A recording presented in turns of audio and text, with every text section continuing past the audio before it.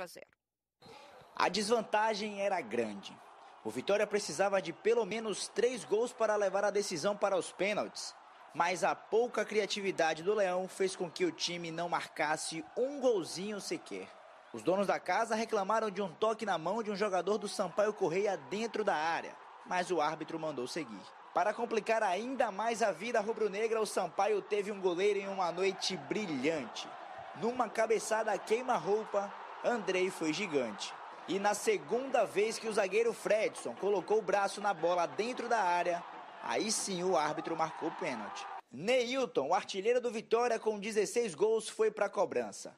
Esperou até o último momento para bater, mas Andrei acertou o canto e defendeu. Esperei até o último minuto, mas eu já tinha visto. É, o, o, vídeo do último jogo que ele bateu chapado mais, mais para o meio do, do gol. Eu esperei o máximo ali, escolhi o canto certo, fui feliz, o Papai do Céu abençoou. Os 45 minutos finais tiveram um cenário parecido com os do primeiro tempo.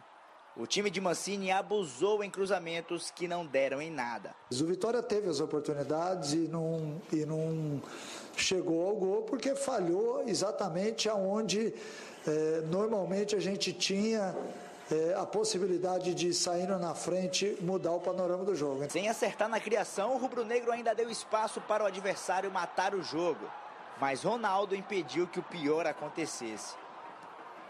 O garoto de 21 anos fez a estreia dele como um jogador profissional do Vitória. A entrada dele fez com que nós tivéssemos um atleta de 20 anos que ainda não tinha jogado, mas que se comportou muito bem.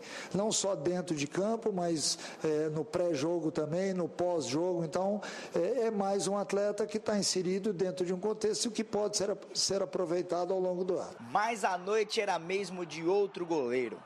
Andrei fechou o gol do Sampaio de todos os jeitos. Eu estou muito feliz, sabe?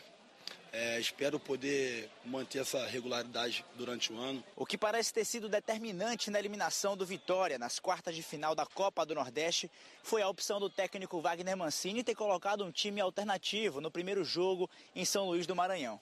Pelo menos foi o que achou o torcedor nas arquibancadas.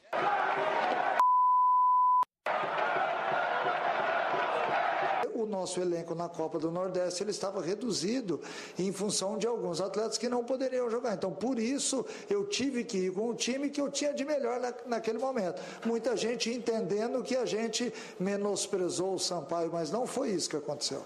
E os protestos se estenderam também à diretoria do clube. Alguns dos quase 8 mil rubro-negros que foram ao Barradão pediram contratações. Perdemos um pênalti, né, que talvez se fosse feito é, mudaria o rumo do jogo, mas não dá para ficar aqui lamentando não. É, o Mancini não é assim, o elenco não é assim. Acho que a gente tem que ter a cabeça no lugar, saber que tem muita coisa a ser jogada, que só uma equipe passaria. Infelizmente não fomos nós.